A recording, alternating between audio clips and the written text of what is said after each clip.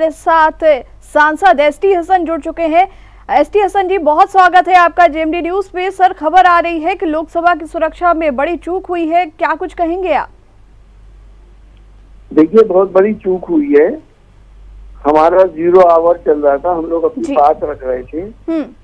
और zero our में हमें गैलरी में से एक नारे की आवाज़ आई और हमने देखा एक आदमी उस पे लटका हुआ है और एक आदमी कूद गया।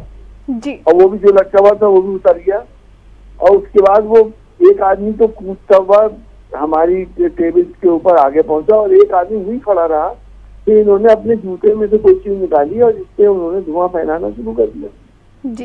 अब क्योंकि आज तेईसवीं बरसी थी हमने सुबह जी। उन शहीदों को भी खराज तहसीन पेश किया था श्रद्धांजलि पेश की थी।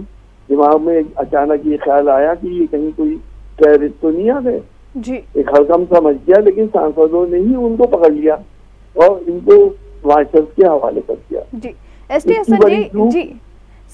एस टी हसन जी आपसे ये पूछना चाहूँगी कि आज संसद हमले की बरसी भी है और जिस तरीके से आप लोग वहाँ पे मौजूद थे किस तरीके का वहाँ पे माहौल था और ये जो प्रदर्शनकारी बताए जा रहे हैं आखिर किस तरीके से इन्होंने सिंधमारी की और क्या कुछ वजह थी?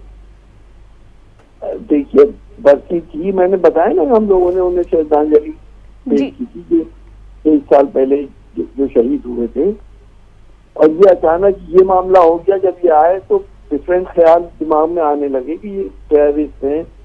मेरा तो ये कहना है कि सिक्योरिटी में बहुत ज़बरदस्त लैप्स हुआ है। अगर खुदा ना खास्ता इनके जूतों में ये बम ले आते हम्म। या कोई छोटा हथियार ले आते तो दो चार सांसद तो मार ही जाते।